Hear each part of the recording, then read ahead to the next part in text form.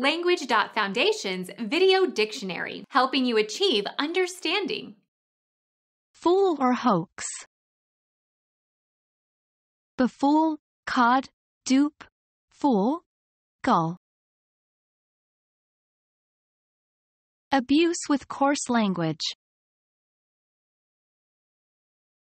Use slang or vulgar language.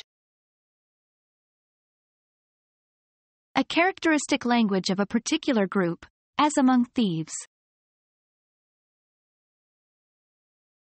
Argot, cant, jargon, lingo, patois.